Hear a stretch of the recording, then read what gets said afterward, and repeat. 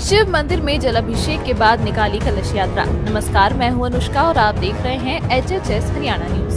ताज़ा खबरों में आपको बता दें कि फरूख नगर खंड के गाँव फाजिलपुर बादली में, जहाँ वीरवार को शिवरात्रि के महोत्सव पर बाबा प्याऊ वाला प्रांगण में भजन कीर्तन का आयोजन किया गया। भजन संध्या में रेवाड़ी से पहुँची मास्टर रूपचंद की सत्संग पार्टी ने अपने मधुर भजनों से मंदिर प्रांगण को भक्तिमय कर दिया। वही समाज सेवी सोनू यादव ने सभी कांवड़ियों के सम्मान में भोलेनाथ की प्रतिमा भेंट की। सुबह होते ही भव्य कलश यात्रा का आयोजन किया गया। इस दौरान सैकड़ों की संख्या में युवाओं, बच्चों एवं महिलाओं ने बढ़ चढ़कर हिस्सा लिया।